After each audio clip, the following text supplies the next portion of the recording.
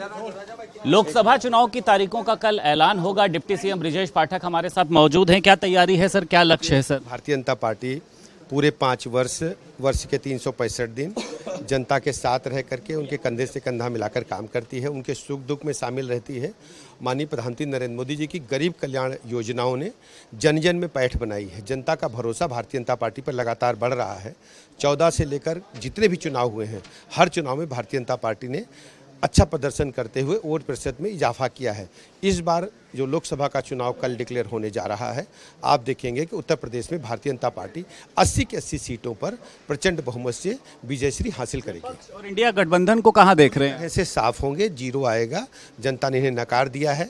खासकर समाजवादी पार्टी की गुंडई अराजकता को जनता ने पूरी तरह से नकार दिया है।